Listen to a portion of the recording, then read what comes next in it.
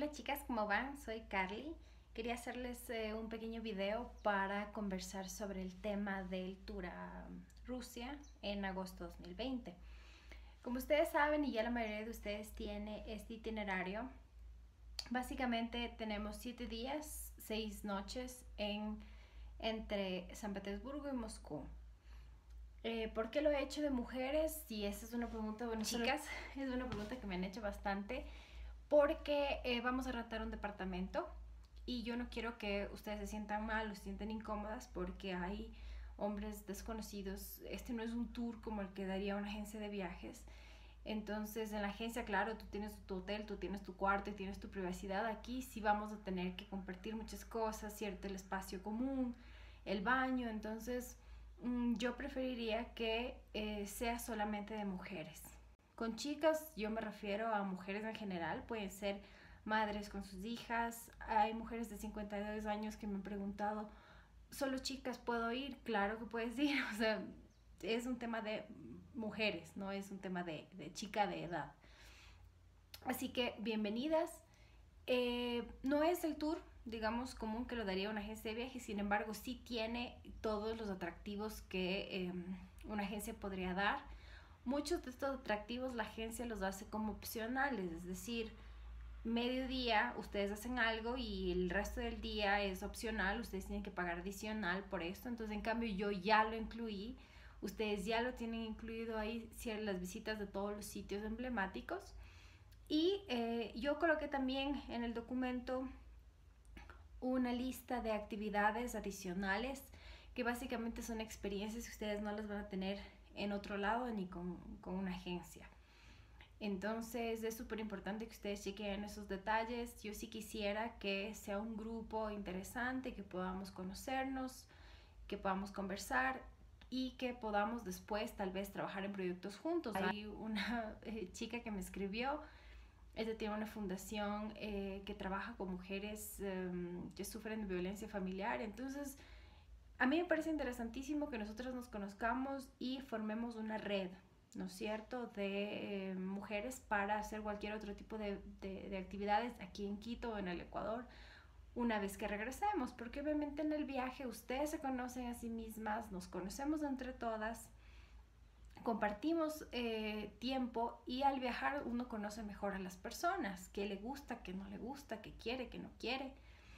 Por eso es que este tour yo pienso que es ideal para aquellas mujeres que van con sus hijitas, porque no es lo mismo viajar con el esposo y con los otros hijos, porque la atención se divide.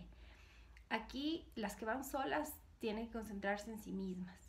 Las que van con sus hijas compartirán tiempo con ellas y obviamente se genera un vínculo distinto al que pueden tener en cualquier otro, otro sitio o pueden tenerlo aquí. Entonces, quería yo destacar que ustedes van a tener clases de cocina rusa con personas, con rusos. Y en este caso es una experiencia que no la van a tener en otro lado. Van a poder saborear la comida de casa. Va a haber ciertas degustaciones de bebidas caseras también. Y eh, además de ciertas actividades que yo las considero importantes porque después de haber vivido tanto tiempo allá, eh, ya uno se conoce las huecas, ¿no? Como se dice. Entonces, eh, hay ciertas calles que son muy interesantes para visitar, como por ejemplo aquí en Quito les pueden recomendar la Ronda. Y allá también tienen sus calles interesantes. Eh, hay un cóctel de bienvenida que está incluido también en el tour.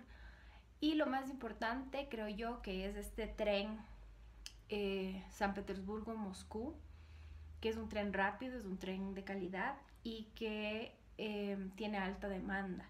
Usualmente de San Petersburgo a Moscú puede tomar 8 horas en tren. Ese es el tren normal.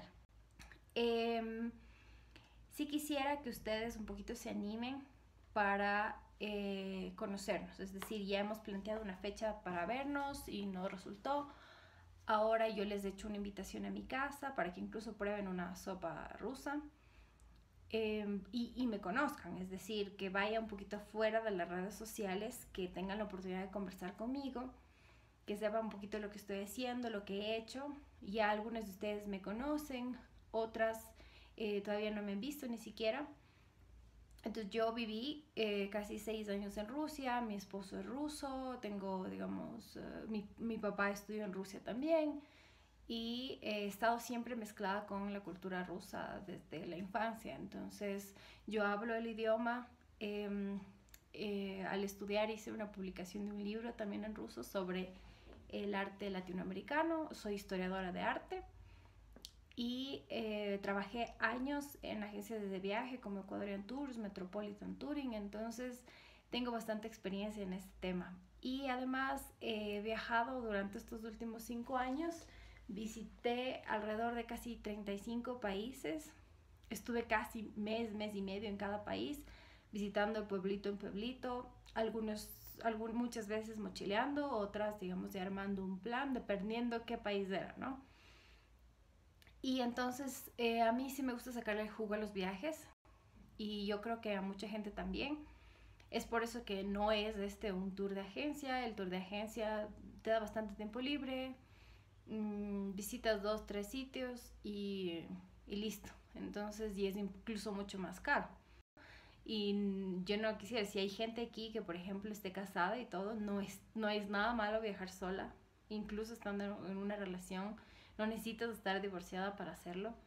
Eh, entonces que un poquito igual se quiten los estereotipos de los rusos, de la cultura, porque nos han ido metiendo desde la infancia, ¿no? Ciertos estereotipos de, sobre ellos, sobre la cultura, que son fríos, para nada, es gente muy cálida, muy amable, ha sufrido mucho en un tema histórico, pero ustedes, yo sí quisiera que lo vean de primera mano, no que yo les cuente y les diga las maravillas que van a encontrar en arquitectura, en arte, en gastronomía, eso tienen que verlo ustedes.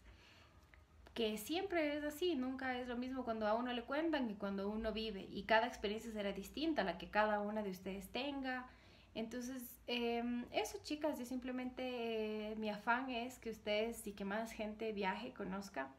Es un destino interesante, vale la pena y obviamente está casi, no está explotado, es decir, nadie, por un tema de idioma también, hay una barrera ahí bien grande que la gente no se anima a viajar porque es frío, porque está lejos. Y de hecho eh, está, mm, San Petersburgo se encuentra muy cerca de, de, Europa, de Praga, de Riga, de Finlandia. Entonces, eh, y si tienen alguna duda adicional, si quieren contactarme para vernos, simplemente me dicen chicas y yo, yo voy. Entonces, eso, no tengo más nada. Eh, bueno, les diría muchísimas cosas sobre las actividades y las ciudades estas que vamos a visitar, pero véanlo por ustedes mismas con sus propios ojos. Un beso, chao.